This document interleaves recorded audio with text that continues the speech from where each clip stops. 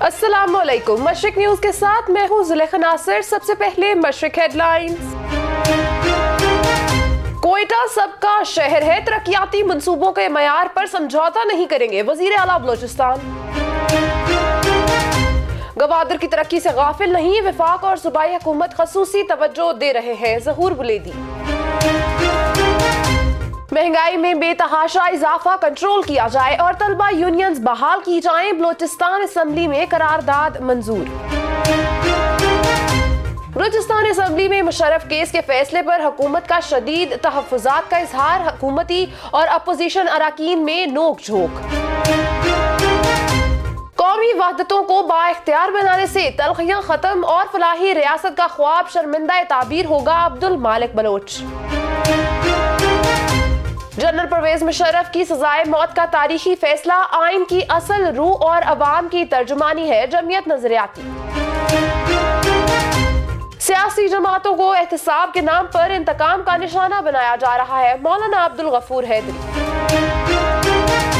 بلوچستان حکومت شہریوں کو ان کی املاک کی قیمت مارکیٹ ریٹ کے مطابق دے اپوزیشن جماعتوں کا مطالبہ۔ کوئٹہ میں گیس کی باعث دم گھٹنے سے تین افراد دم بہک ٹریفک حادثات نے دو جانیں لے لی ہیڈ لائنز آپ نے جانی۔ اب خبریں تفصیل کے ساتھ۔ وزیر اعلیٰ بلوچستان جام کمال خان نے کوئٹہ ڈیولپمنٹ پیکج میں شامل منصوبوں کی تکمیل میں کام کے معیار پر کسی بھی قسم کا سمجھوتا نہ کرنے کا عزم ظاہر کرتے ہوئے کہا ہے کہ کوئٹہ ہم سب کا مشترکہ شہر ہے۔ اس شہر کو سہولیات کی فراہمی کا فائدہ پورے بلوچستان کو حاصل ہوگا۔ اجلت میں کوئی غیر معیاری کام نہیں کرنا چاہتے۔ سڑکوں کی تعمیر و توسیع کے پیکج میں سب سے چھوٹا منصوبہ پچاس کروڑ اور سب سے بڑا منصوبہ سات سات ارب روپے کا ہے۔ وزیر خزانہ میر ظہور بلیدی نے گوادر کو حکومتی توجہ نہ ملنے کے موقف سے اتفاق نہ کرتے ہوئے کہا ہے کہ نہ صرف صوبائی بلکہ وفاقی حکومت بھی گوادر پر خصوصی توجہ مرکوز کیے ہوئے ہے ماسٹر پلان کے تحت گوادر کی قدیم آبادی کو تحفظ دیا جائے گا۔ گوادر میں دیگر جاری منصوبوں کے ساتھ ساتھ میڈیکل کالج کا منصوبہ بھی زیر غور ہے۔ گوادر سی پیک منصوبے کا اہم جز ایکسپریس وے ویسٹ بے پر فش ہاربر بنایا اور سوشل اکنامک گرانٹ کے تحت اسپتال کو توسیع دی جائے گی۔ صوبائی وزیر۔ پاکستان اسمبلی نے صوبے میں طلبہ و یونینز کی بحالی سے متعلق لائی گئی قرارداد کثرت رائے سے منظور کر لی۔ صوبائی وزیر ظہور بلیدی نے اسمبلی میں خطاب کرتے ہوئے کہا کہ دنیا بھر میں جمہوریت کو پروان چڑھانے کے لیے طلبہ یونینز کا کردار رہا ہے۔ بدقسمتی سے پاکستان میں طلبہ یونینز پر گدگد رہی ہے۔ ممبر صوبائی اسمبلی اصغر اچکزئی نے قرارداد کی حمایت کرتے ہوئے کہا کہ ملک میں آئین اور جمہور کی حکمرانی کی اجازت نہیں دی گئی۔ جمہوری جماعتیں طلبہ یونین کے ذریعے سیاست کرتی ہیں۔ اسمبلی اجلاس کے دوران جان جمالی اور اصغر ترین کی جانب سے ناروے میں قرآن پاک کی بے حرمتی سے متعلق قرارداد پیش۔ ایوان نے تمام قراردادیں متفقہ طور پر منظور کر لی صوبائی وزیر خزانہ میر ظہور بلیدی نے سابق صدر general retired Pervez Musharraf case کے فیصلے پر شدید تحفظات کا اظہار کرتے ہوئے کہا ہے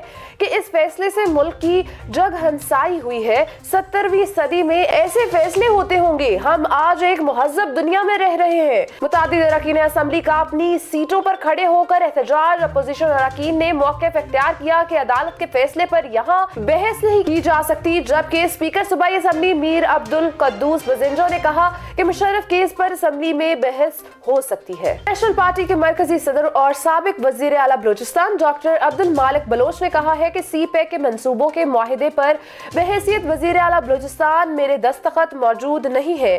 ملک میں آئین اور سیاست میں مداخلت کا سلسلہ بند ہونا چاہیے۔ قومی وحدتوں کو با اختیار بنانے سے فلاحی ریاست کا خواب شرمندہ تعبیر اور تلخیوں کو ختم کیا جا سکتا ہے۔ سی پیک کے منصوبوں کے معاہدے پر بحیثیت وزیر اعلیٰ میرے دستخط موجود نہیں۔ ملک میں آئین اور سیاست میں مداخلت کا سلسلہ بند ہونا چاہیے۔ جمعیت علماء اسلام نظریاتی پاکستان کے مرکزی امیر مولانا خلیل احمد، مرکزی کنوینئر مولانا عبد القادر لونی اور دیگر نے کہا کہ آئین شکن مجرم، جنرل پرویز مشرف کی سزائے موت کے فیصلے کی مخالفت کرنے والے عدلیہ کی توہین کر رہے ہیں۔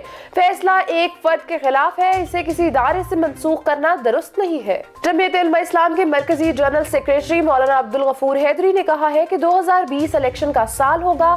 آزادی مارچ سے سیاسی جماعتوں کو ریلیف شروع ہو گیا ہے۔ تحریک نے حکومت کی بنیادیں ہلا دی ہیں۔ ہمارے مطالبات میں سیاسی قیدیوں کی رہائی بھی شامل تھی۔ سیاسی جماعتوں کے ساتھ احتساب کے نام پر انتقام لیا جا رہا ہے۔ حکومت میں اکھاڑ پچھاڑ کا آغاز ہو گیا اور حکومت میں اکھاڑ پچھاڑ کا آغاز ہو گیا ہے اور حکومتی کشتی ہچکولے کھا رہی ہے اور ڈوبنے کے قریب پہنچ چکی ہے۔